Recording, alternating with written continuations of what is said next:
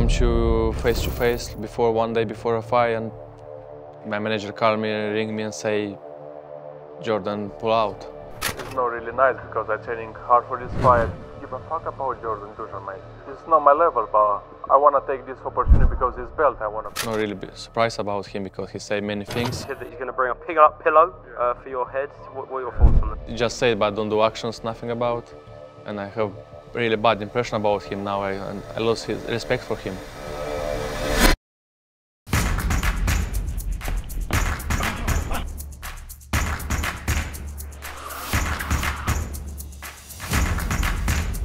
Yeah, training hard all, all the time, all training.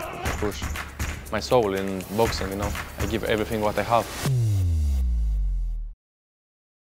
He's a alright boxer, but not this time. This time I, I have only bad intention for him.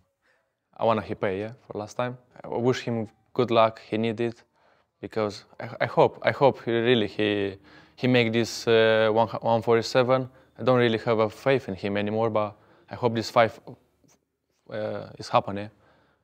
Hopefully, because I wanna chin someone quick.